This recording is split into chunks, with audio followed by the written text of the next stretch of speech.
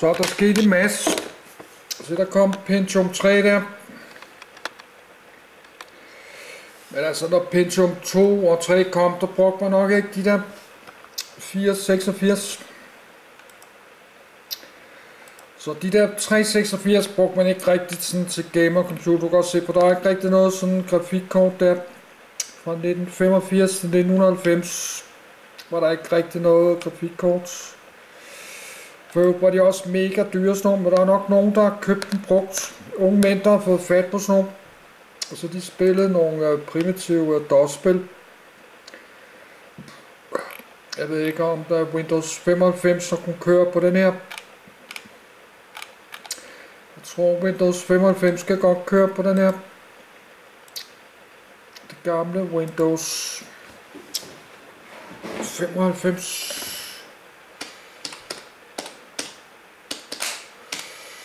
Jeg tror det, jeg kan ikke huske, hvad kom før det. Det må så komme i 1995 måske. Windows 95 kom i 1995, sommeren 95.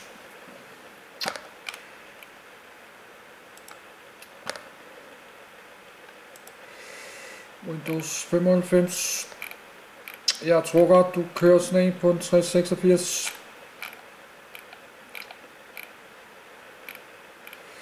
System Requirements. Officiel en 386 kan godt 386 DX, det skal være en DX matematisk og 4 megabyte RAM, altså ikke gigabyte, altså 1000 megabyte og 1 gigabyte. Så du skal have 4 megabyte, så må du sikkert få sådan nogle RAM-klodser på øh, 1 megabyte stykket. Og 50-55 megabyte, altså 1 gigabyte. Megabyte harddisk. Så må det ikke være større, hurtigere end 2,1 GHz. Og hukommelsen må ikke være større end 480 megabyte hukommelse, så man kan så ikke putte Windows 95 på sådan en. Moderne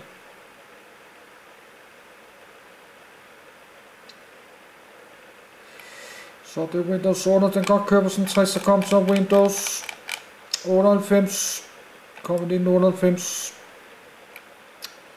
Jeg ved ikke om den 6086 skulle køre på sådan en der. Men det var altså nok, man køber øh, billigt. Sådan nogle kontor 386.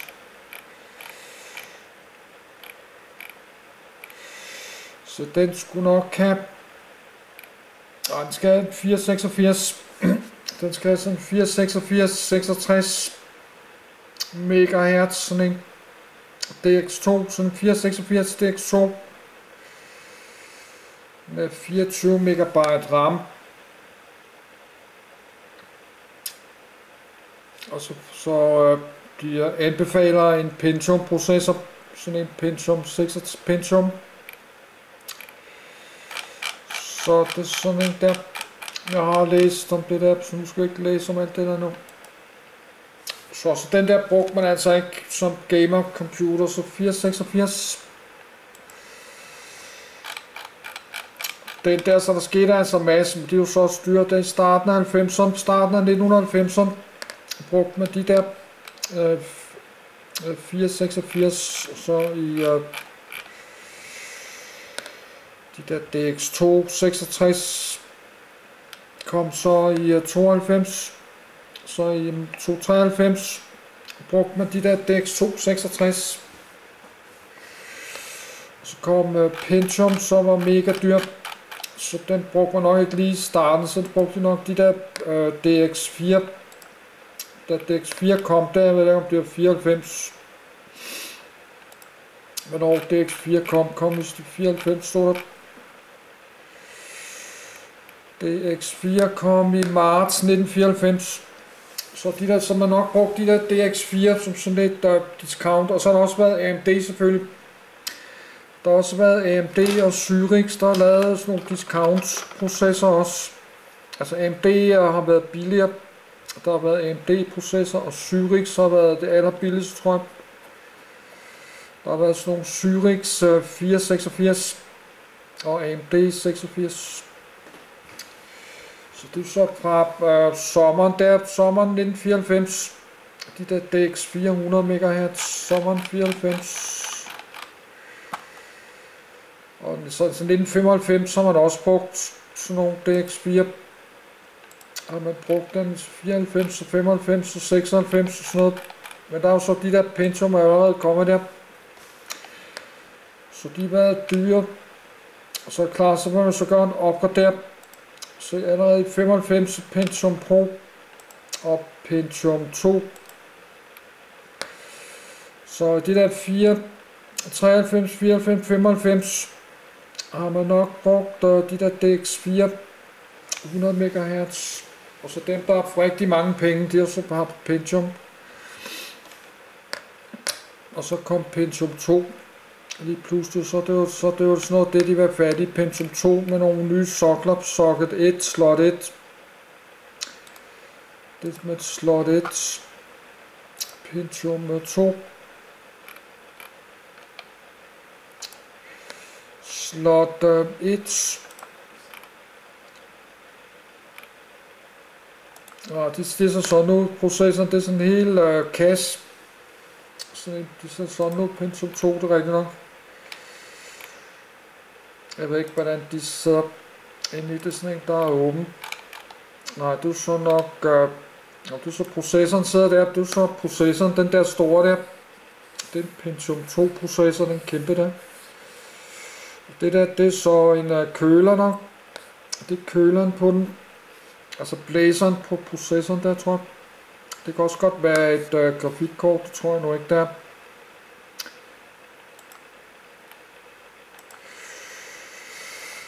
Så er det sådan 2. Socket 1, sådan en der. Ej, slot ikke så, jo, slot 1. Og så kom pensum 3. Pensum 3 kom i 1949 og 2000. Pentium 3. Så jeg tror min første computer, det var sådan en uh, Pentium 4, eller en Pentium Dual Core, eller sådan noget lignende der. Du så Pentium 3, brugte sådan en socket. Socket 370. Så begyndte de der, så 400 eller andet næste gang. Pentium 3.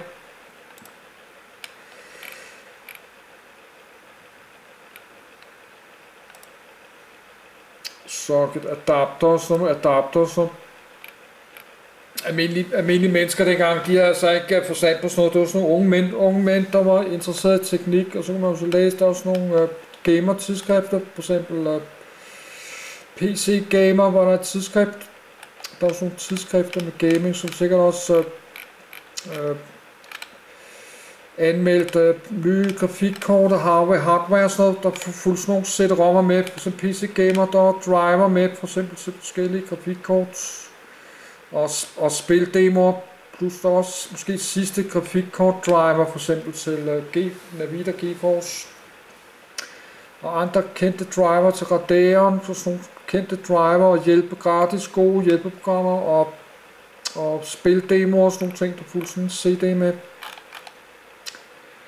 Socket 370 blev så til 423.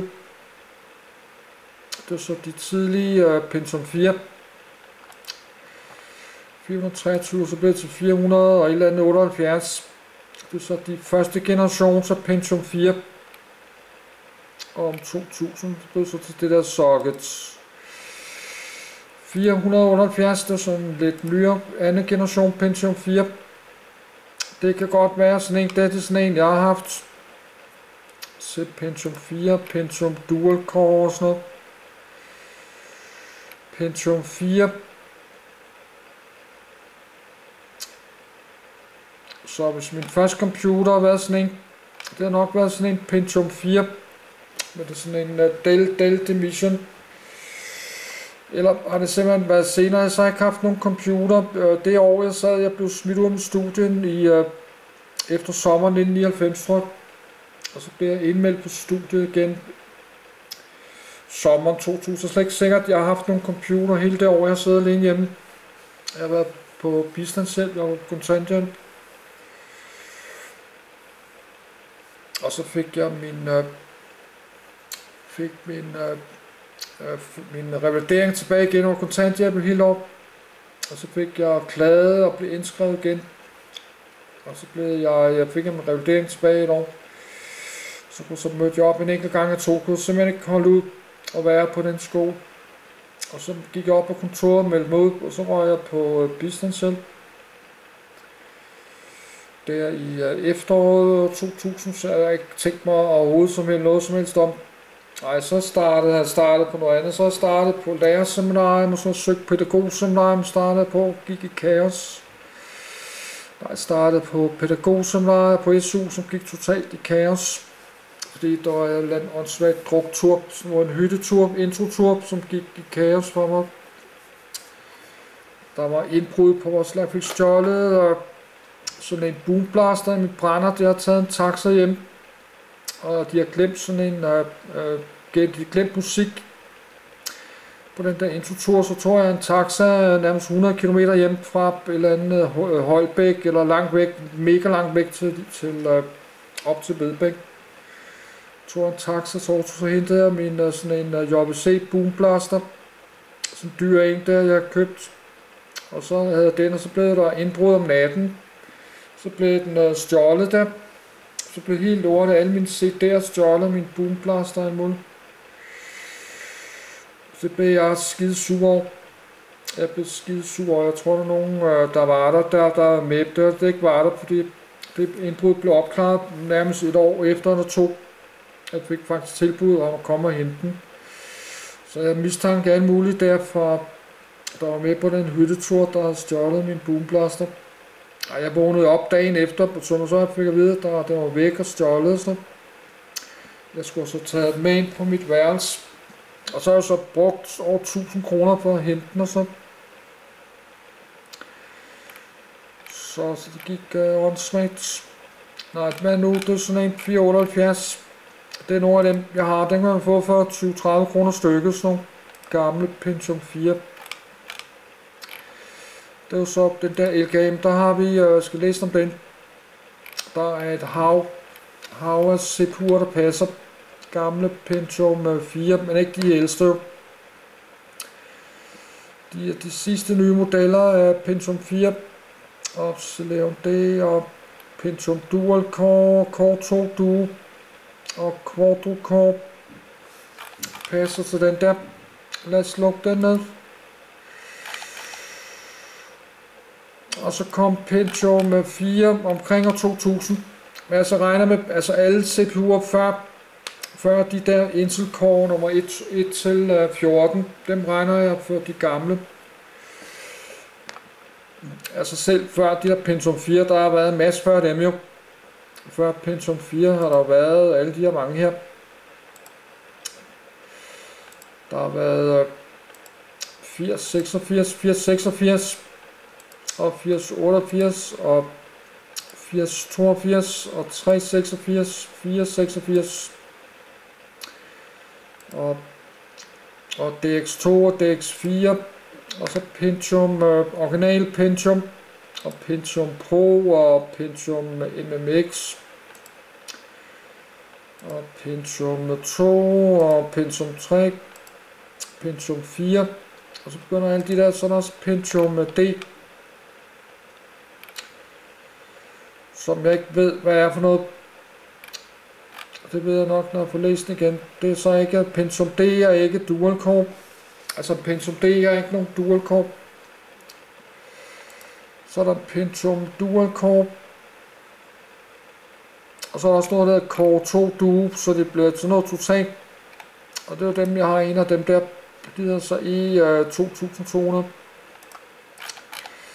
Og så er der Core Pentium. Det er så brandet der. Ja, det er så ikke noget med Pentium 4. Pentium D, Pentium 4. Men nu har jeg skrevet dem ned i rækken. Lad bare være der, fordi jeg har skrevet de her ned. Så er der Core 2 Duo. Det er også øh, Intel Core 2 Duo her. Intel Core 2 Duo. Så det er, ikke, det er ikke noget, det er noget andet noget, det er ikke øh, Pentium Duo. Altså Pentium Dual Core er ikke, er ikke det her kort 2 Duo. Jeg har en enkelt en af dem her.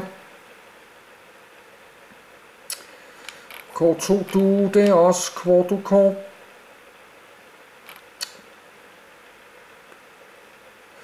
Kort 2 Duo var helt op til år 2000. Så så har jeg sådan en list, liste, og her Intel Core, det er så de moderne Intel Core, det er den vi bruger nu. De der i3, i5, i7, i9, det er Intel Core i3, i5, i7, i9, det er det vi bruger nu.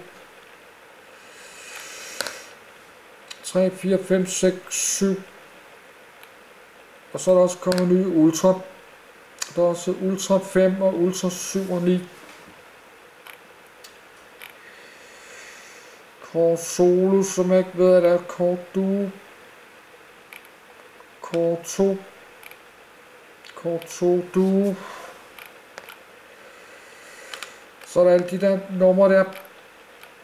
Core 2 Quadro. Og så er der de der første generations uh, Core i5. Det var de første generations, så kan man springe. Jeg gider ikke åbne alt det der. Nehalen 45 nanomillimeter øh, mikroarkitektur.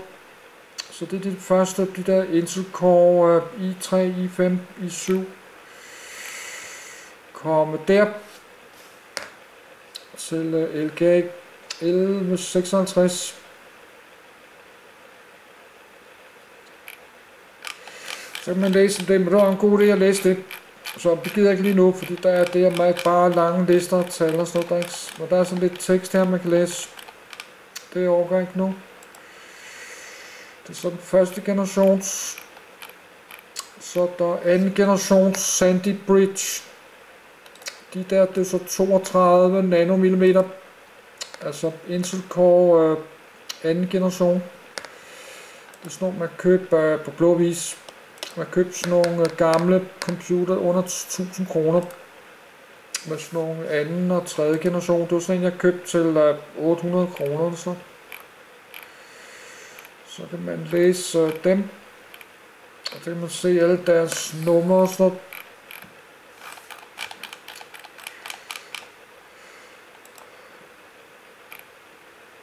Så tredje generation tredje generation, der hedder Ivo Bridge, lavet 22 nanomillimeter.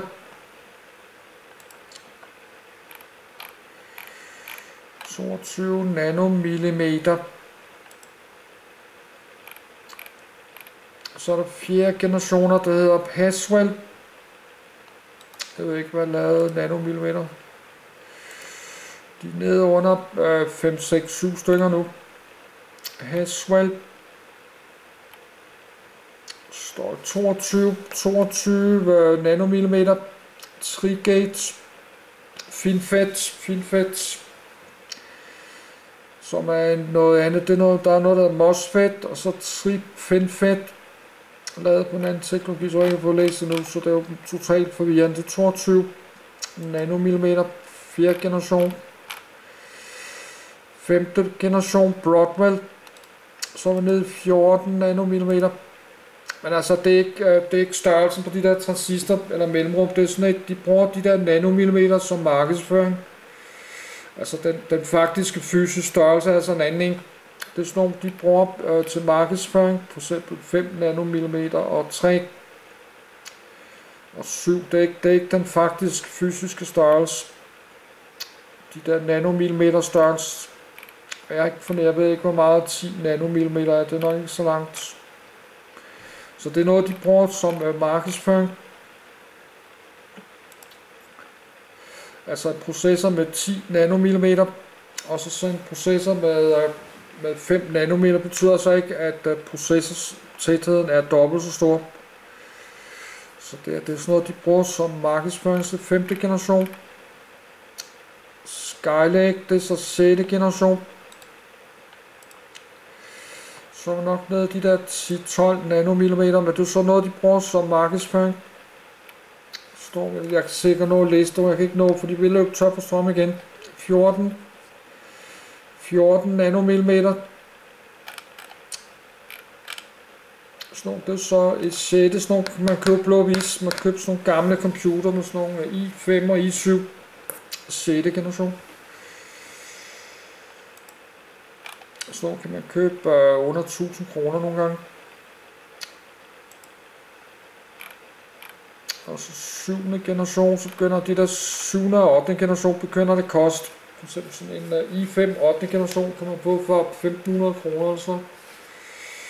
Men altså lige snart vi er oppe i 9. generation, så springer man op i 9. så koster det lige pludselig dobbelt så meget. Man kan så ikke få sådan en i5 9. generation til øh, 1500 ikke nu. Det er jo så 7. generation. 14 nanometer også. Og det er 8. coffee den jeg har. Den er så 14 nanomillimeter også.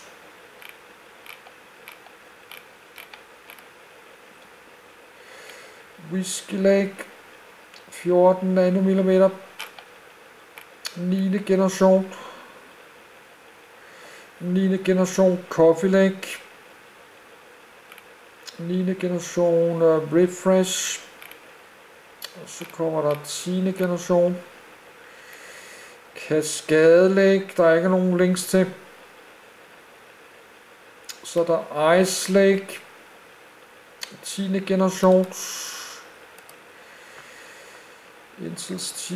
Ice Lake, det er så nok 10 nanometer, det det er jo 10, 10 nm, men det er jo så en, øh, det er jo sådan noget markedsføring, nu er der ikke mere strøm på, så vi ikke, vi er ikke helt færdige nu.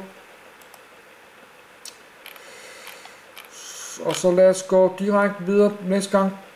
Vi går direkte til, uh, til den her liste her. Gå lige igennem og se, hvor mange, uh, for eksempel den første 404, den har kun 2.300 transistor.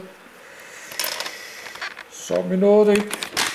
Nu er klokken 10 over 6.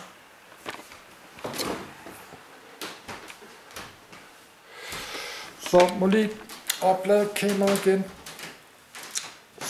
Så vi må lige lave øh, sidste tre videoer.